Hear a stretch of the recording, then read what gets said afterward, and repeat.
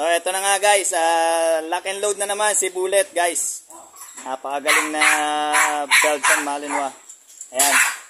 So, ito yung ito yung asawa niya si Molly ano. Ayan. Guys, sa mga ano, Belgian lover dyan.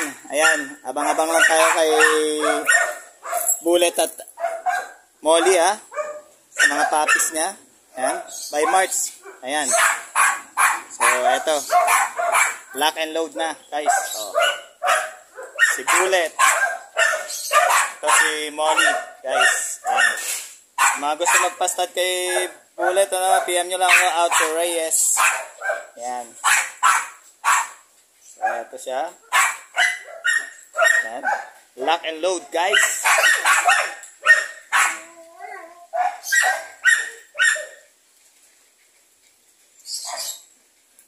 Ha? Ganda, oh.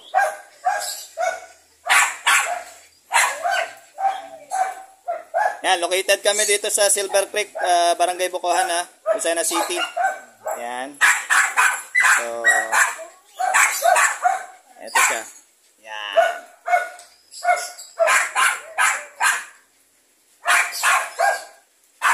Lock and load.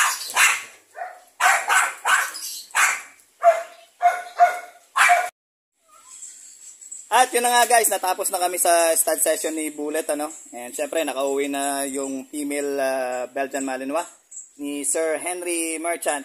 Maraming salamat po Sir Henry sa pagtitiwala nyo na sa aso ko kayo magpastad. Ayan. Ng inyong Belgian Malinois. Ayan guys, ah ayan.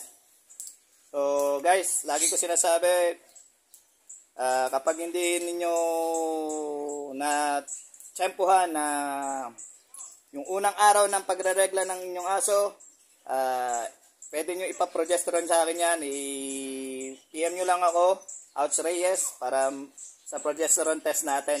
Ano? Available po tayo anytime, anywhere. Yan. So, yan. Shoutout kay Sir Deck Barreto. Ayan. And Ma'am Rachel uh, Barreto. Ah, please subscribe nyo yung YouTube channel niya, Decoy TV, ni Sir Deck Barreto.